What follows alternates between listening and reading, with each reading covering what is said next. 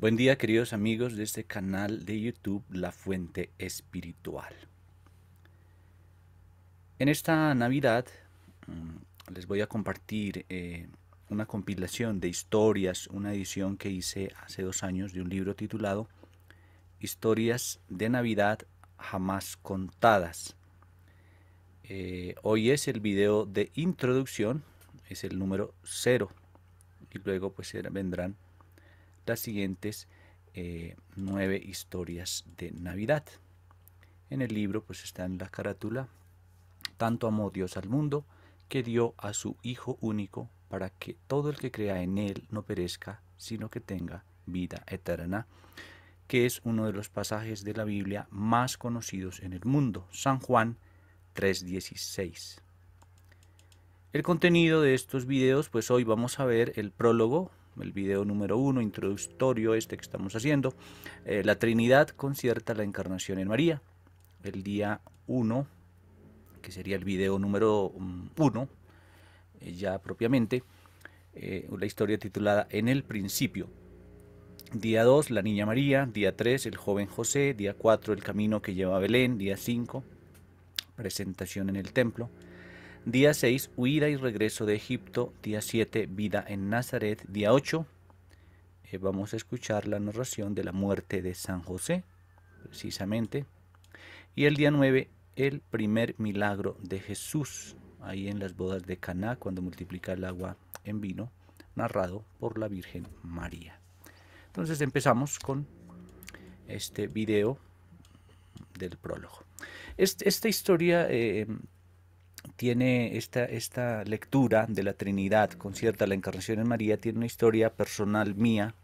Cuando yo viví en Bogotá, por allá en el año como que 2002, 2003, iba a una comunidad de oración a la parroquia Santa Gema Galgani y en esa comunidad de oración algún día mm, una de las personas que la dirigía, que se llamaba Jairo, no lo he vuelto a ver hace mucho tiempo, leyó esta historia eh, tomada, eh, lo vine a saber pues más de 15 años después, casi 20 años después, de un libro de eh, la beata mexicana Concepción Cabrera de Armida, que recomiendo leer. Esto está tomado de, la cuenta de conciencia y, y, de toda la obra que ella hizo sobre el Espíritu Santo, abundantísima por cierto, que la recomiendo. Entonces, esto está narrado. Hay un solo video de YouTube, estoy buscando. Un solo video de YouTube narra mm, este mismo texto. Pero pues aquí como hace parte de esta serie, eh, se los voy a, narrar yo. Ya habíamos leído el texto. Esta imagen que está ahí, por cierto, pues es la Trinidad, famosa Trinidad del pintor Rublev, ruso, tiene toda una, historia que, también la pueden buscar en internet y, mirar ese icono. Nos dice entonces la beata Conchita de Hermida.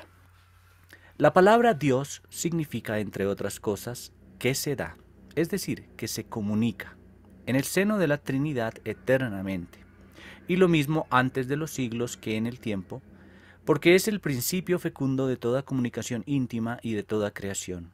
Y Dios se da, ciertamente, porque su ser, esencia es caridad, amor que se comunica. Pues bien, figurémonos una mirada de afecto, de infinita complacencia, rebosante de inefable ternura, entre las divinas personas, Padre, Hijo y Espíritu Santo, en que se comunican mutuamente la vida y el amor. Contemplemos contristada, en cierto modo, a la Trinidad, al mirar el pecado del hombre, y cómo planea la redención, obra del infinito amor, don del amor divino, que hizo que todo un Dios se diese al hombre y tuviera en él sus delicias, en la encarnación del Verbo. Porque Dios es amor, y amor que se da. Escuchemos el siguiente diálogo entre el Padre y su divino Hijo. Padre mío, ¿en qué puedo complacerte, puesto que soy el Hijo más amable, cariñoso y tierno? Te amo con un amor infinito, como sabes, porque en el principio ya era contigo y el Espíritu Santo. Yo vivo de tu vida y darte gloria es mi única delicia. ¿Qué te contrista? La humanidad, hijo mío. Pues en esas almas está la imagen de la Trinidad, porque yo al crearlas puse en ellas mi sello inmortal, una comunicación de mi mismo ser, y las amo como cosa mía. Se necesita redimirlas. El cielo se cerró por el pecado. Lo comprendo todo, Padre, porque yo amo con tu mismo amor, con tu infinita caridad. Bajaré a la tierra, descenderé y me anonadaré. En el seno de una Virgen Inmaculada tomaré carne purísima y así cumpliré la promesa que hiciste en el paraíso. Tu justicia quedará satisfecha y la humanidad salvada. Hijo mío, la soberbia inunda la tierra. Me humillaré sin medida ni límites. La sensualidad y la ambición de riquezas inunda el mundo. Naceré en un pesebre de bestias y no tendré dónde reclinar mi cabeza. La impureza, comodidades y regalos ahogan al mundo. Seré la pureza por esencia. Padre, no rehusaré ningún sacrificio. La ofensa hecha a mí es inmensa. La borraré con mi obediencia a tu voluntad. Así quedarás satisfecho, Padre mío. Y entonces el Padre envolvería a su Hijo con una mirada de infinita gratitud. Qué abismos de caridad. Meditemos y agradezcamos. El Espíritu Santo, que escucharía este diálogo sublime entre el Padre y el Hijo, a su vez diría, yo realizaré esa obra, porque es obra de amor, la encarnación en María, en esa criatura perfectísima concebida sin pecado, y que en la mente divina existe desde toda la eternidad. Yo uniré un alma preciosísima al cuerpo sagrado que formaré de la sangre de una virgen, y nacerá de ella, por el mayor de los portentos, quedará la Virgen siempre pura y verdadera Madre de Dios. Ha llegado el feliz instante. Yo perfeccionaré esa criatura como un pintor enamorado de su obra predilecta. Será concebida sin la mancha original. En su alma purísima y en su cuerpo, mi templo vivo, infundiré mis dones y carismas, y será el trono de la sabiduría. Y esa Virgen concebirá y dará a luz un hijo y se le pondrá por nombre Jesús, es decir, Salvador. Ya mi gozo es indecible consagraré ese tabernáculo.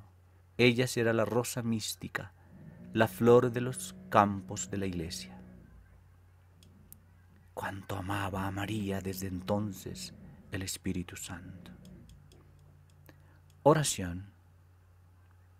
Trinidad Santísima, te contemplo y te amo en la eternidad de tu ser. En mi humilde pequeñez, te alabo, Padre, porque nos has dado a tu propio Hijo, al Verbo que bajó al mundo y se ofreció por nosotros, al Espíritu Santo que realizó la encarnación. Espíritu amadísimo, dame un corazón muy grande que sepa sentir y agradecer la misericordiosa bondad de la Santísima Trinidad, y que no con palabras, sino con hechos, le pruebe mi fidelidad. Amén. Gloria al Padre, al Hijo y al Espíritu Santo, como era en el principio, ahora y siempre, por los siglos de los siglos. Amén. Los esperamos en el próximo programa titulado En el principio.